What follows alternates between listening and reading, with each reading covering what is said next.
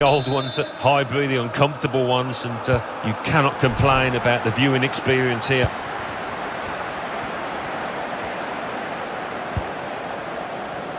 Now De Bruyne. Return pass. A great chance to go in front. And they have done.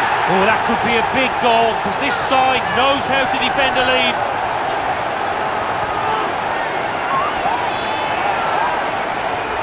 Well, this is what you call leading from the front. A strike from the skipper. Yeah, he's popped up at a very good moment there. And that's a goal well worth analysing again.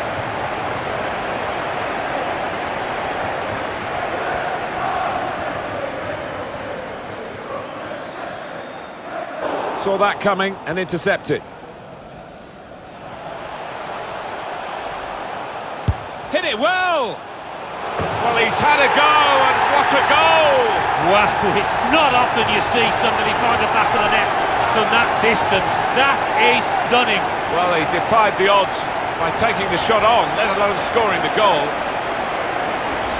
That's a great goal from long range.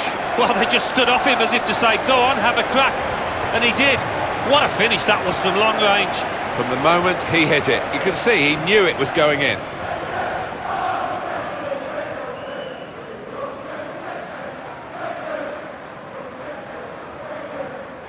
Well, it's great when a plan comes together and the manager...